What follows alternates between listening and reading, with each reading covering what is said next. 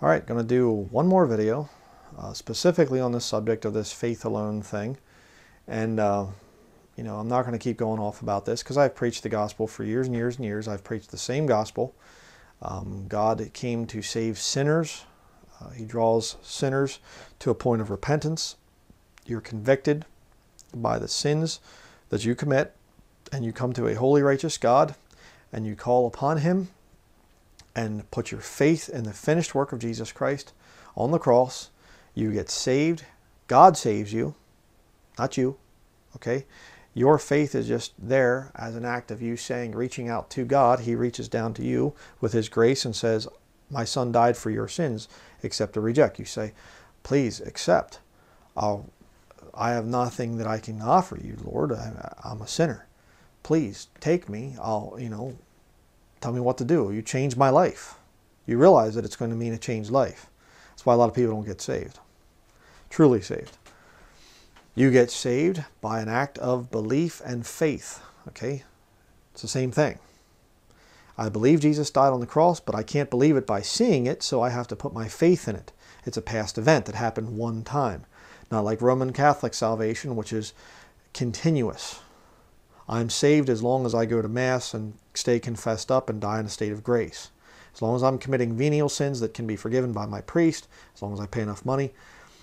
You know, if I commit a mortal sin, I could be in trouble, but I can still get out if I go through purgatory for a while and burn for a little bit of time. And there's people doing, you know, saying mass, masses for me and all this stuff and giving more money to the Catholic Church. Um, and the you know priest performs extreme unction on me and stuff as I'm laying on my deathbed and everything hogwash, okay? Baloney. well, that's not biblical salvation. All right. You come to the Lord with an act of saying, I believe Jesus died for my sins, but I can't see it. So that's where my faith comes in. And then at that point, you're saved. You are born again, and God will start to clean up your life. The process of sanctification begins. Right? And you say, well, then where does the thing of a changed life come in? Well, that's the whole point. True salvation will produce a changed life every single time. What's the point of salvation if nothing changes? All right. So that's the debate with these people. But this faith alone thing, you know, I just want to make a couple more points. We're going to look up some scriptures on the subject of faith and see what the Bible actually says about faith. But this whole thing, uh, I saw one of you wrote, a brother uh, wrote, and he said, uh, you know, what confuses me about this thing is how can five solas be one system? you know, it's like, you know, faith alone, grace alone, scripture alone, in Christ alone, to God's glory alone. Wait a second. If it's five things, how can they each be alone? You know? So you see people, they say, I'm saved by faith alone. What they're saying by that, and of course they're deceptive with it, it's just some kind of weird I guess you can't really call it double speak. It's more like quadruple speak or something. Um, but uh, actually, quadruple might be four. Whatever. The whole point is confusing. Um, the whole point is if you're saved by faith alone, faith is man's action towards God. So they're actually confessing that they are lost by their own profession. I'm not saved by my faith. I'm saved by God's grace through an act of my faith, saying I put my faith in the finished work of Jesus Christ. So when I say, somebody comes out and they say, I'm saved by faith alone, by grace alone. Wait a second, it can't be two alones. If you have two, they're not alone. Alone means one. So you say, I'm saved by faith alone. What you're saying is, it's my actions, it's my belief. And you get all these Satanists coming out and saying, well, yeah, that's all it is, my belief. They're saying that prayer is a work. Hyperdispensationalists is what these people are. Satanic heretics is what these people are. And they continue to come out with their little videos refuting me. And hyperdispensationalists, I'm going to be doing a study on them in the future. I've talked about a little bit in the past, but hyperdispensationalists, just to break it down, they say that there are two bodies of Christ. Okay? The one preaching repentance. That's James, Peter, John, you know, all those guys. And then Paul brings in the gospel that we have today, and that's from Paul till the rapture. Okay, but you go to Romans chapter 16, and Paul is saying he's naming people who were in Christ before him. All right? They try to make baptism into a sin. But Paul baptized people. There's all kinds of these little arguments these people do. And what they are good at, they will go through the Pauline epistles and they will just chop the living daylights out of the Bible and they'll just say, this is for us, this is not, this is for us, this is not. And they just go through and they just take all kinds of little stuff. I mean, they're, they're taking stuff out of the Pauline epistles and saying, Paul didn't write that to Christians. Romans chapter 10, you know, when it talks about whosoever shall call upon the name of the Lord shall be saved, that wasn't written to Christians. Paul wrote it, and Paul's our apostle, but Paul didn't write it to Christians. He wrote it to some other group. And they just twist the scriptures and twist it and twist it and twist it, and you end up listening to these people. That's why I'm telling you, there are certain people, don't even listen to them. Okay? They will mess up your head. They are speaking with devils, devils speaking through these people. All right? Hyperdispensationalists are wicked. Hyperdispensationalists, hyper Calvinists, and charismatics. Three groups that you avoid completely. They say, well, just open your mind. No. No. I don't think so. Satanic heretics, every single one of them. Hyper Calvinist, hyper dispensationalist, charismatic. Stay away from them. Right? They are the most satanic groups out there in professing Christianity. All right? Very, very bad. But this whole thing of this faith alone movement, uh, it's it's just like I said, it's just uh, brother brought that point up. You know, uh, how can you have five alones? Uh, it doesn't even work. You know, only one thing can be alone. Okay, five cannot be alone. They have other. You know, this one has the other four. But again, you know, we'll explain this stuff to these people. You can't. Okay, they're the natural men, as the Bible talks about in 1 Corinthians chapter 2, verse 14, I think it is. You know, they can't receive the truth. They're dead in trespasses and sins. So, you know, not going to happen. Um, let's, but let's look at about this word faith. What does this word faith mean? Turn to Deuteronomy chapter 32.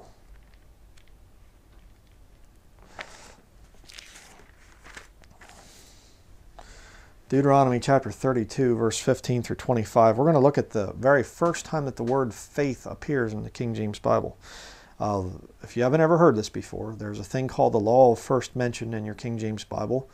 Many times, when a word is used the first time, it will be defined within the text. So let's look about this. Deuteronomy 32, beginning in verse 15. But Jeshurun waxed fat and kicked. Thou art waxen fat, thou art grown thick, thou art covered with fatness. Then he forsook God which made him, and lightly esteemed the rock of his salvation.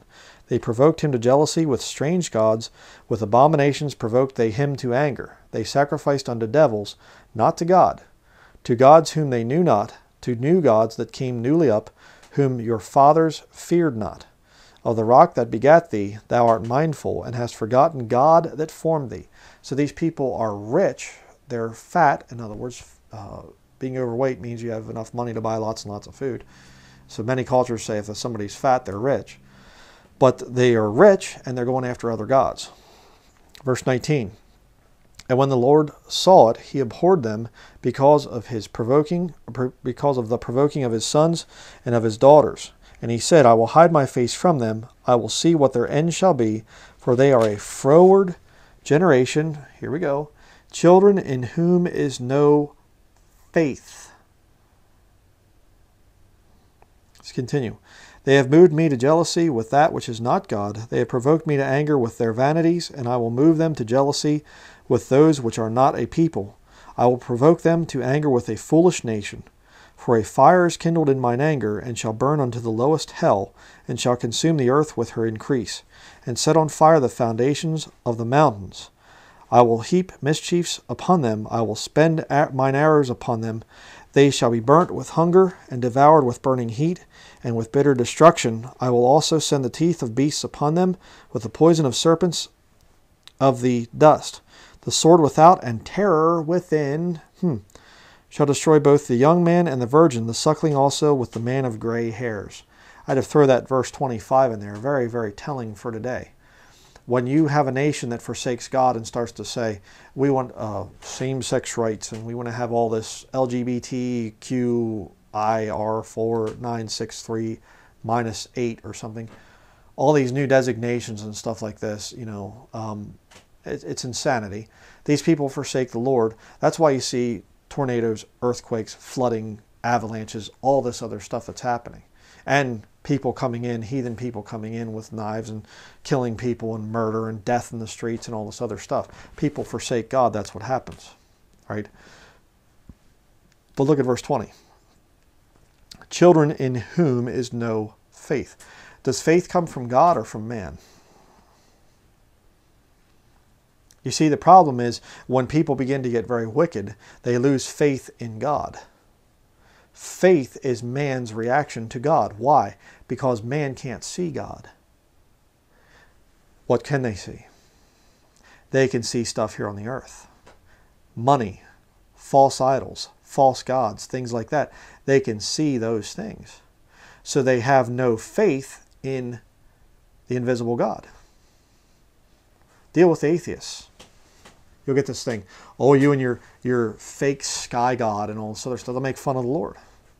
Why? Because they're children in whom is no faith. Faith, you see, is the evidence of things not seen. Let's look about that. Habakkuk. Turn back towards the New Testament to the minor prophets. I know some of you are newly saved and you're probably going, what's a Habakkuk? you know, uh, well, you get into the books of the Bible there towards the end of the Old Testament, you get all these very interesting names. Um, but uh, they're the minor prophets there. And uh, there's some interesting things in there. And we're going to see one of them. Habakkuk chapter 2, verses 1 through 4. I will stand upon my watch and set me upon the tower, and will watch to see what he will say unto me, and what I shall answer when I am reproved. And the Lord answered me and said, Write the vision and make it plain upon tables, that he may run that readeth it. For the vision is yet for an appointed time. Interesting. But at the end it shall speak and not lie, though it tarry, wait for it, because it will surely come, it will not tarry everything that's in this Bible has an appointed time. And I've said this thing just as a because I hear it and I repeat it, and I say, you know, if the Lord tarries another year, the Lord's not tarrying. Do you understand that? And I, I've apologized before for saying that. That's not true. I just said it because I've heard it and I repeat it because it sounds right. Because you think to yourself, what on earth is the Lord waiting for? He must be waiting. The Lord's not waiting. He knows exactly when the rapture is going to be. All right. He knows exactly when the Antichrist is going to come to power. He knows exactly when the he's going to stand in the temple, showing himself that he is God and, and run, you know, flee into the mountains if you're in Judea. He understands exactly the exact second. He's not tarrying. All right. But look at verse 4. Behold, his soul which is lifted up is not upright in him, but the just shall live by his faith. Is it God's fault if you mess up and stop looking for Him and go back to the world? So, Lord, was my fault. I mean, I stopped reading the Bible and I stopped witnessing to people and I stopped listening to the right kind of music and I went back to the world and I did this and that because you didn't provide me with enough faith, God. I know. faith is our job. The just shall live by his faith. I have faith every day that the Lord's going to provide for me. I have faith that my Lord and Savior knows the exact time when He's going to say, Come up hither. I have to live by faith. I can't live by sight. You can't live by sight as a Christian. You have no idea what tomorrow's going to bring. Do you? I mean, how many times have you been in life and you have enough money in the bank and you have you're in good health and things are all planned out and it's like I got to get to work tomorrow or whatever else and all of a sudden you go out and it's like how did I get a flat tire in my vehicle? What in the world? You go and you call your boss, you say, I'm going to be a little bit late. Sorry, I got a flat tire. Just got to go out and change it quick. You go out, you change it. go to turn the key on, and oh, my battery's dead too, or or whatever. You get up in the morning, you're like, oh man, what in the world? Where did, how did I get a headache? And uh, or you get to work and you're you're there working and stuff, and all of a sudden it's like, oh, it's starting to hurt a little bit when I swallow, and you come home later that night and you're sick as a dog within the next couple of hours. We don't know what a day is going to bring forth, you see. So we have to live by faith. Whose job is faith? Our job. The just shall live by his faith. So, well, this is all in the Old Testament. This is all in the Old Testament. Okay, let's go to Romans chapter 1.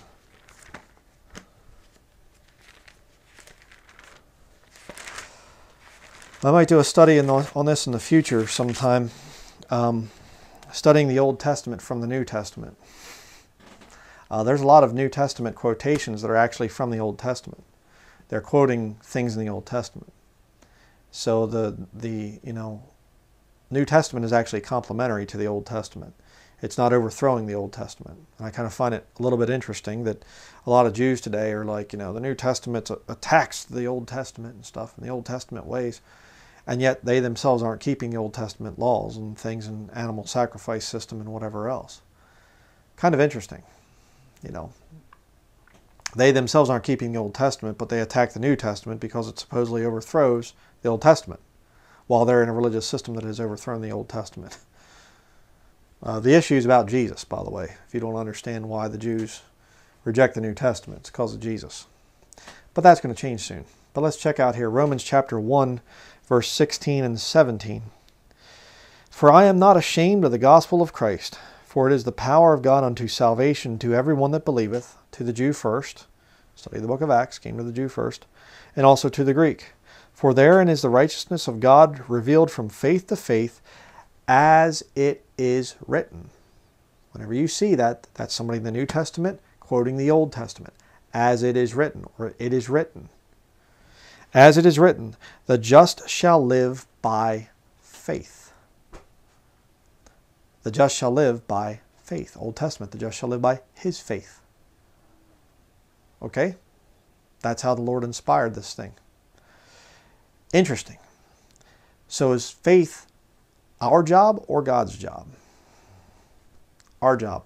So when you have somebody say, I am, you know, salvation is by faith alone, if they truly mean that, that salvation is by faith alone, then they're basically saying salvation is my job. It's all on me.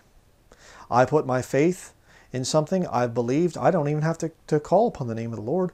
I don't have to pray anything. I just believe I'm saved and therefore I am. And I can continue in sin. I can do what I want. I'm saved by their own admission by saying salvation is by faith alone. Sola fide, you know, they are basically saying, I'm lost. That's what they're saying. Absolutely, whether they like to admit it or not. But I'll give you another one people tried to quote as proof or something. Luke chapter 7, verse 50, you have the story of this woman coming in and she's washing, you know, Jesus' feet with her tears and wiping him his feet with her hair and everything.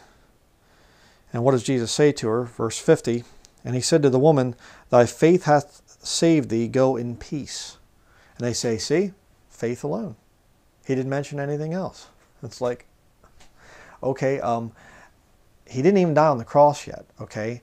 Um, if her coming in and wiping, you know, crying on Jesus' feet and then wiping his feet off with her hair and stuff, why is she doing that? She's coming to him as a sinner, right? Saying, I know he can save me. I know he can heal me. The plan of salvation hasn't even been fully realized yet. So if Jesus had been telling her, hey, you're saved now, you're born again, he didn't even die on the cross yet. Why would you use this as a proof text to try and prove faith alone? See? Not a very good argument. Not a good argument at all. And again, I'm not saying faith has no part of salvation. You know, I get this thing, people saying, you know, Bryan Denlinger's teaching works salvation. I'm going, what? you know, of course you get the hyper dispensationalist, Ed Fakinger, and all these other little little satanic followers of her of hers, well, his. Um, and they're saying, you know, that prayer is a work and stuff. Yeah, Martin Richling started this whole thing, and these little devil worshippers follow him. You know, uh, Martin Richling, the Jesuit, uh, and he was. He was a Jesuit, definitely. Eric Phelps told me that he used to work with Martin Richling, and again, I've you know dealt with that in the past. But I mean, prayer is a work. Okay, uh, belief is a work. You know, you have to believe. Therefore, it's a work. I mean, it's just these people are, are mentally ill. But you have that group, you know, that's saying faith alone and, and you, there's no whatever and stuff like this. And they say I'm teaching works because I teach prayer. You know, you pray to the Lord, call upon the name of the Lord to be saved. You have that group, you know, saying I teach works. Then you have the non-dispensational crowd, and they're saying because I say salvation in the time of Jacob's trouble is faith in Jesus and keeping the commandments, according to Revelation chapter 14, verse 12, I'm teaching works for today. And I'm going, I mean, these people are so mentally ill. You know, the posties and the hyper dispensationalists, um, they're mental, mentally ill. You know, the one says prayer is a work, so I'm teaching works salvation. The other says he teaches uh, faith, you know, faith in Jesus and keeping the commandments in the time of Jacob's trouble. So that proves that he's teaching it for today.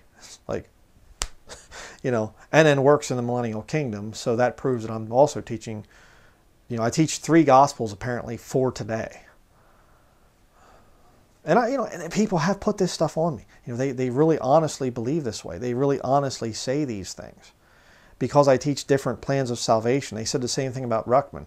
He teaches five different, you know, salvations, you know, in the New Testament for today. Be careful what you believe about Dr. Peter S. Ruckman. Okay, I, I, had my issues with the man, some of the little things and stuff, whatever else. But the guy was saved. He was a great Bible teacher. You can learn a lot from the man. And for somebody to say he was teaching five different gospels for today shows that they are 100% liar. Okay? I was trying to think of another word there, but liar does it very nicely. Uh, I don't teach multiple plans of salvation for today, right now in the church age. There are multiple plans of salvation in the New Testament because the New Testament was written to different groups of people. That's not Old Testament for the Jews, New Testament for the Christians. Let's look at a couple other verses here. I'm not going to be going through, I mean, you can look up, you want to do a word study, just go through faith and you're going to see it's on man. You know, it's, it's man, man's response to what Jesus Christ did on the cross. That's the whole thing. That's what it, faith is if you want to boil down description. The other definition of faith, of course, we'll be getting into this here in just a little bit, but the other definition of faith is the faith, like the Christian faith, okay? Um, meaning, you know, Christianity. We'll see about that here in just a minute. Acts chapter 20, verse 21 testifying both to the Jews and also to the Greeks repentance toward God and faith toward our Lord Jesus Christ. Okay? Just give me a minute. I got to do something here real fast. I'll be right back with you. All right, sorry about that. Right back. Um, Acts chapter 20, verse 21 there talks about repentance toward God and faith toward our Lord Jesus Christ. All right, that's salvation. The two parts, it's one event. All right, repentance toward God, what is that? I am a sinner. I have no more self righteousness. I'm not a good person. I need to come to you in repentance. I'm sorry for who I am. I'm sorry for what I am. I'm sorry for what I've done. I can't possibly make it into heaven with my goodness. Okay? Repentance toward God. You're asking for His grace, for His mercy. That's why you're coming to Him. That's why you're calling upon the name of the Lord. You see? You're crying out to God, going, God, I don't even know how to pray. I don't know what to do here. Please be merciful to me, a sinner. He's nigh unto all them that call upon him. Okay? He's there. He wants to hear from his creatures, his creation down here. And you call upon the name of the Lord, you say, God, please. And the Lord says, I've offered my son. Jesus died for your sins.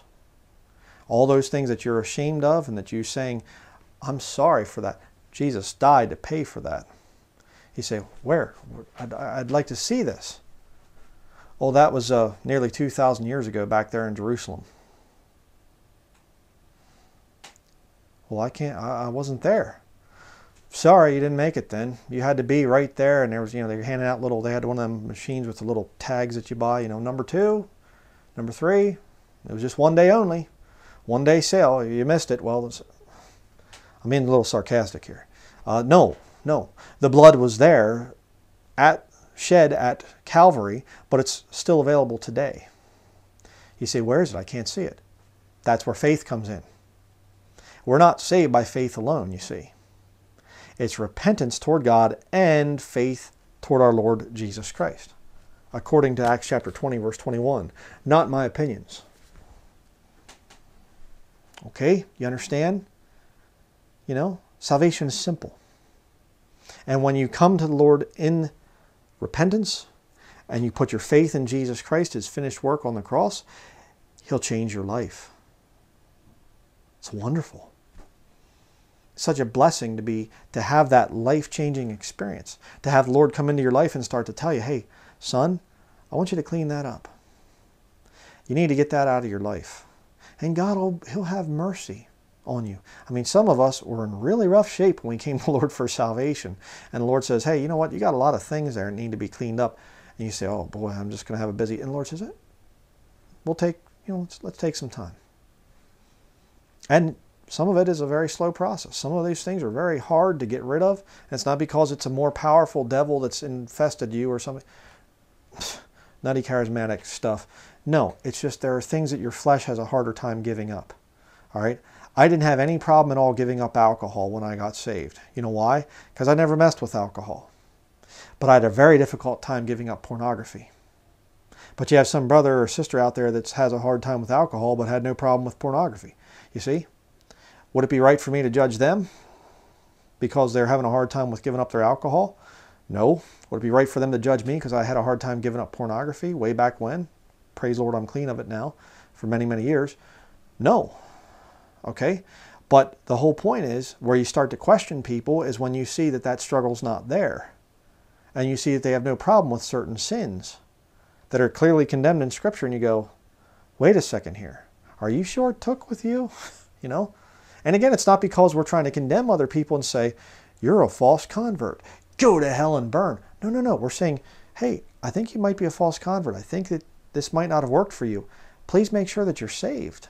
Examine yourself, whether you be in the faith. We want people to be saved. That's the motivation behind this ministry. When I come out and I rebuke certain things and I say, you might not be saved if you believe this or if you do that or whatever else, I'm trying to get people to get saved. Examine yourself.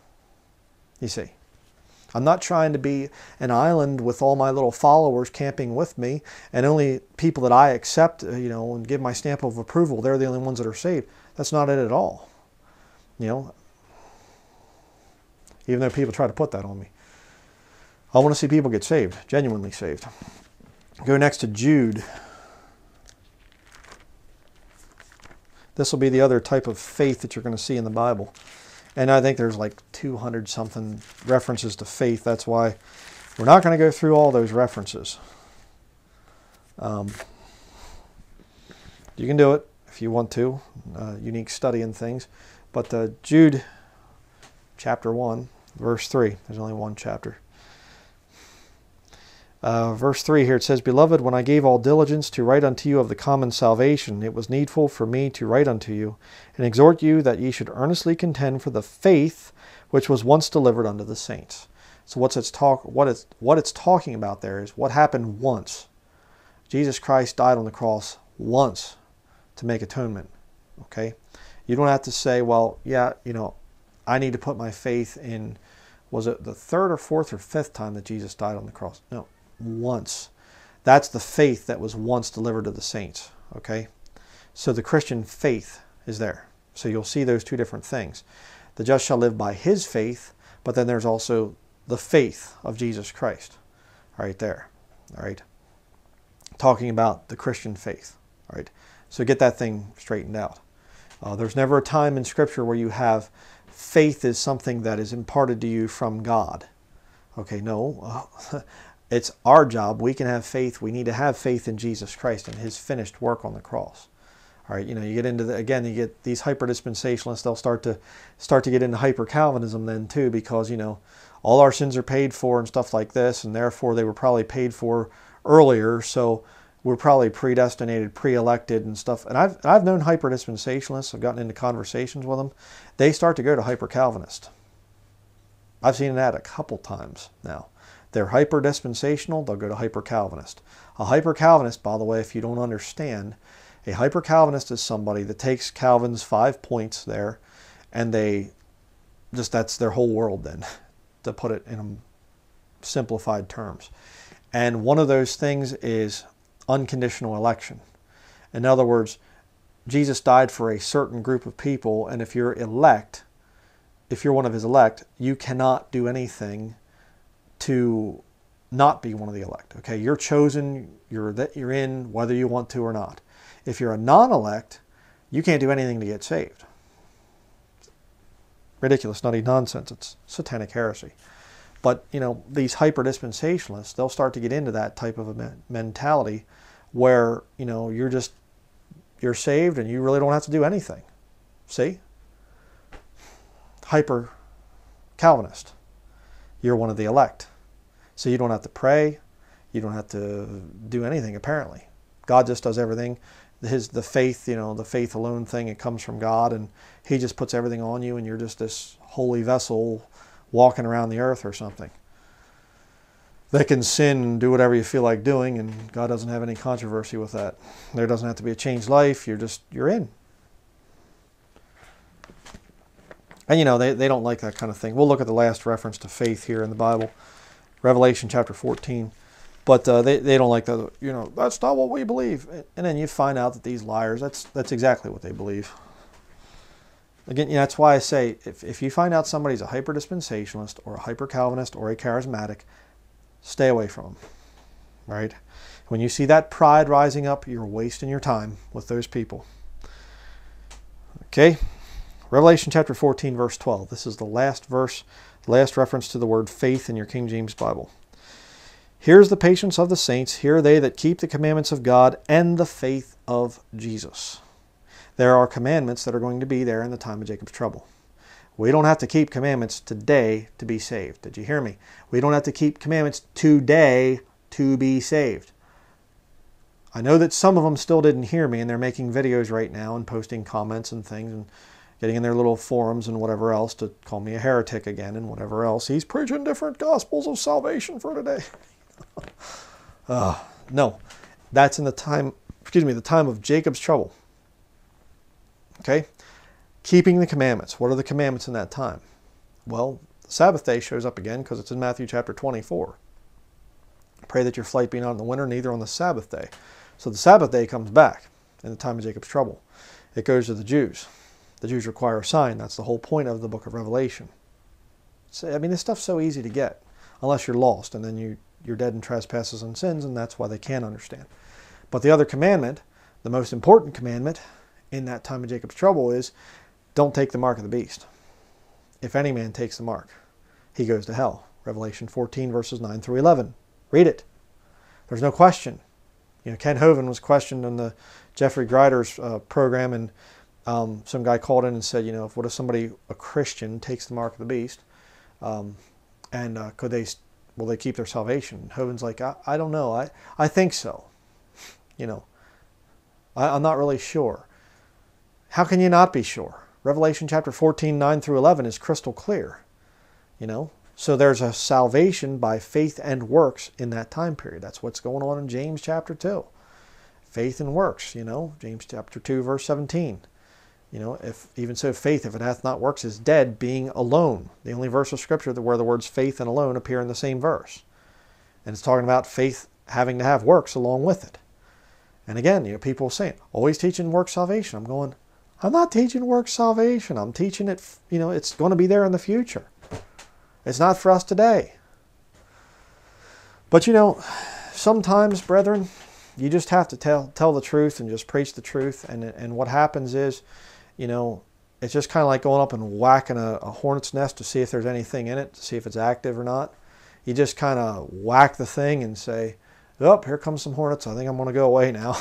you know, um, the heretic hornets uh, are swarming out more and more as time goes by.